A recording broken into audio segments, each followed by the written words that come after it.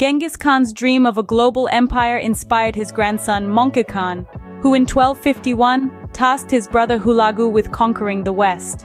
From Persia, Hulagu's forces swept across the Middle East, toppling dynasties like dominoes. But when the Mongols set their sights on Egypt's Mamluk Sultanate, Sultan Qutuz resisted.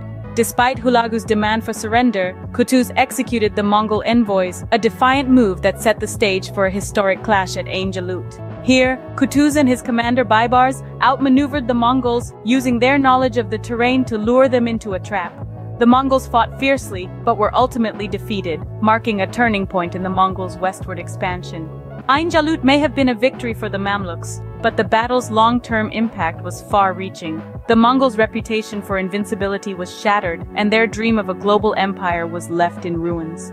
Internal conflicts and shifting alliances within the Mongol Empire further hampered their attempts to conquer Egypt.